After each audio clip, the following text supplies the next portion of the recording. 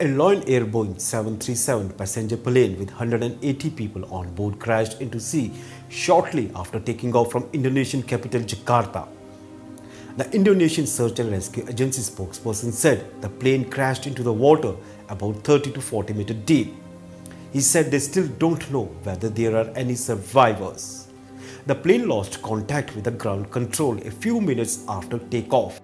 Indian pilot Bhavya Suneja was flying the plane that crashed in the Indonesian seas. Captain Bhavya hails from New Delhi and is associated with the airline since 2011. The cause of the crash is still not known and there has been no word yet of any survivors.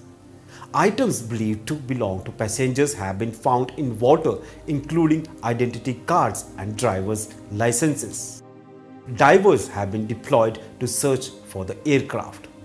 The crash is the worst airline disaster in Indonesia since an AirAsia flight plunged into the sea in December 2014, killing all 162 passengers on board.